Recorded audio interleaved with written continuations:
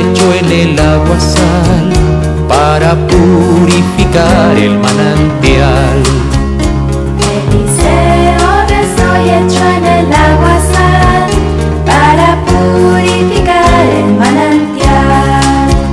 Luego el manantial brotó y todo floreció. Eliseo rezó y echó en el agua sal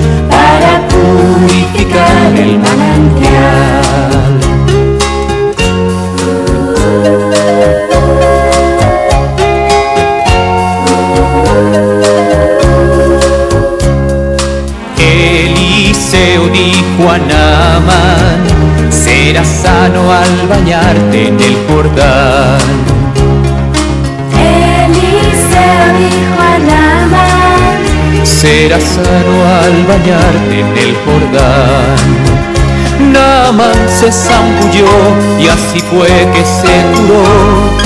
Eliseo dijo a Naaman, serás sano al bañarte en el Jordán.